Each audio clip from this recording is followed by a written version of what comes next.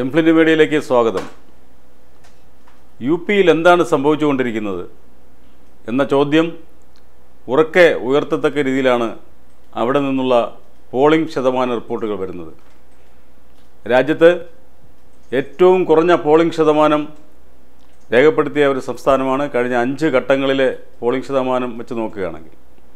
അഞ്ചാം ഘട്ടത്തിലും യു പിയിലെ പോളിംഗ് ശതമാനം രാജ്യത്ത് നടന്ന എല്ലാ തെരഞ്ഞെടുപ്പുകളെക്കാളും ഭീതിതമാവണ്ണം താഴ്ന്നിരിക്കുകയാണ്. ജനങ്ങൾക്ക് പ്രതികരണമില്ല എന്ന് തോന്നത്തക്ക രീതിയിൽ ഏതാണ്ട് ജനസ വോട്ടർമാരിൽ പകുതിയോളം പേർ അല്ലെങ്കിൽ പകുതിയിൽ അല്പം കൂടി മാത്രം പോളിംഗ് ബൂത്തിലെത്തുന്ന ഒരു സ്ഥിതിവിശേഷം ഉണ്ടായിരിക്കുന്നു. അപ്പോൾ ബി ജെ പി എഴുപത്തിയൊന്ന് സീറ്റും രണ്ട് ഘടകകക്ഷികളുടെ സീറ്റ് ഉൾപ്പെടെ എഴുപത്തിമൂന്ന് സീറ്റ് എൺപതിൽ എഴുപത്തിമൂന്ന് സീറ്റ് നേടിയ ആ സംസ്ഥാനത്ത് ബി ജെ പി നൽകിയ പ്രതീക്ഷകൾ തുടർന്ന് വന്ന യോഗി ആദിത്യനാഥ് സർക്കാർ വന്നതിന് ശേഷമുള്ള ആ ഒരു പ്രതീക്ഷാ നഷ്ടം ഇതെല്ലാം കൂടെ അവിടുത്തെ ജനങ്ങളെ കാര്യമായി ബാധിച്ചിരിക്കുന്നു. ജനങ്ങൾ കാര്യമായി ഒരു തണുത്ത പ്രതികരണത്തിലേക്ക് മാറിയിരിക്കുന്നു എന്നാണ് അവിടുത്തെ അവിടെ നിന്നുള്ള കണക്കുകൾ സൂചിപ്പിക്കുന്നത്. ഇപ്പോൾ ഒടുവിൽ അഞ്ചാം ഘട്ടത്തിൽ യു പിയിൽ നടന്നത് പതിനാല് സീറ്റിലേക്കാണ് തെരഞ്ഞെടുപ്പ് നടന്നത്.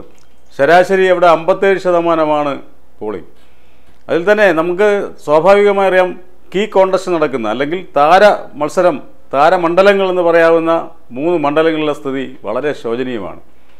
അവിടെ അമേധിയിൽ രാഹുൽ ഗാന്ധി മത്സരിച്ച അമേധിയിൽ വെറും അമ്പത്തിമൂന്ന് പോയിന്റ് നാല് എട്ട് ശതമാനമായിരുന്നു ശതമാനമാണ് പോളിംഗ്. പക്ഷേ കഴിഞ്ഞ വർഷത്തേക്കാൾ ഒരു ശതമാനം കൂടുതലുണ്ട്. കഴിഞ്ഞ രണ്ടായിരത്തി പതിനാലിനേക്കാൾ ഒരു ശതമാനം കൂടുതലുണ്ടെന്നുള്ള വസ്തുതയാണ്. അതുപോലെ റായ്ബറേലി അമ്പത്തിമൂന്ന് ശതമാനം അമ്പത്തിമൂന്ന് പോയിന്റ് ഒന്ന് പൂജ്യം ശതമാനമാണ്. അവിടെയും കഴിഞ്ഞ തവണത്തേക്കാൾ രണ്ട് ശതമാനമാണ് വർധന വന്നിരിക്കുന്നത്.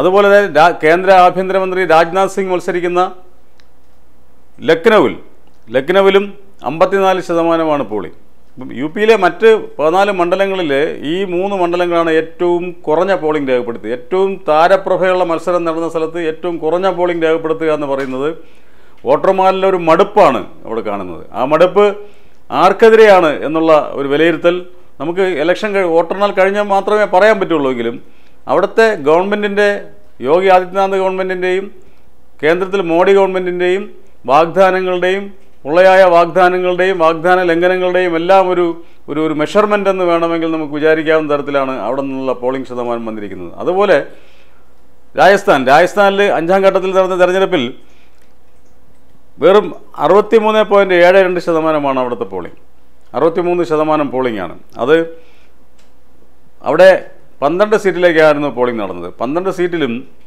കഴിഞ്ഞ തവണ പന്ത്രണ്ടിൽ പന്ത്രണ്ട് സീറ്റും പതിനാലിൽ പന്ത്രണ്ട് സീറ്റും അവിടെ നിന്ന് രാജസ്ഥാനിൽ നിന്ന് നേടിയത് ബി ജെ പി ആയിരുന്നു. ബാക്കി രണ്ട് സീറ്റ് ഘടകകക്ഷികളുടെ എൻ ഡി എ ഘടകകക്ഷികളുടെ ആയിരുന്നു B J P B J പിയുടെ തന്നെയായിരുന്നു. എന്നാൽ യു പിയിൽ പതിനാലിൽ പന്ത്രണ്ട് സീറ്റും അവർ നേടിയിരുന്നു. അതേപോലെ ബീഹാറിൽ ബീഹാറിൽ അഞ്ച് സീറ്റിലേക്കാണ് അഞ്ചാം ഘട്ടത്തിൽ തിരഞ്ഞെടുപ്പെടുന്നത് അഞ്ച് സീറ്റിലും ഏതാണ്ട് അമ്പത്തേഴ് പോയിന്റ് ഏഴ് ആറ് ശതമാനമാണ്. യു പി കഴിഞ്ഞാൽ പിന്നെ ഏറ്റവും കുറഞ്ഞ പോളിംഗ് നടന്ന ഒരു ഇതാണ്.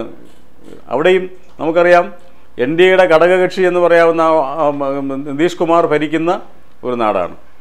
അപ്പോൾ ബി ജെ പി നല്ല രീതിയിൽ ജയിച്ച ഒരു സംസ്ഥാനമായിരുന്നു കഴിഞ്ഞ തവണ. കഴിഞ്ഞ തവണ ഈ അഞ്ചിൽ അഞ്ച് സീറ്റും ബീഹാറിൽ നേടിയത് ബി ജെ പി ആയിരുന്നു. അപ്പോൾ ഇതെല്ലാം കാണിക്കുന്നത് ഇപ്പോൾ ഈ ഈ മൂന്ന് മണ്ഡലങ്ങൾ എടുത്തു കഴിഞ്ഞാൽ അഞ്ചാം ഘട്ടത്തിൽ അമ്പത്തൊന്ന് സീറ്റിലേക്കാണ് തിരഞ്ഞെടുപ്പ് നടന്നത് ഈ മൂന്ന് മണ്ഡ ഈ മൂന്ന് സംസ്ഥാനങ്ങൾ മാത്രം എടുത്തു കഴിഞ്ഞാൽ ഏതാണ്ട് മുപ്പത്തൊന്ന് സീറ്റ് അമ്പത്തൊന്നിൽ മുപ്പത്തൊന്ന് സീറ്റും ഈ മൂന്ന് സംസ്ഥാനങ്ങളിലാണ് ഉണ്ടായിരുന്നത്. അപ്പോൾ ആ നിലയിൽ ബി ജെ പിയുടെ തറ നഷ്ടപ്പെടുന്നു. അവരുടെ ഗ്രൗണ്ട് ഒലിച്ചു പോകുന്നു എന്ന് സൂച- എന്ന സൂചനയാണ് നമുക്ക് പോളിംഗ് ശതമാനത്തിൽ നിന്നും വായിച്ചെടുക്കാനാകുന്നത്.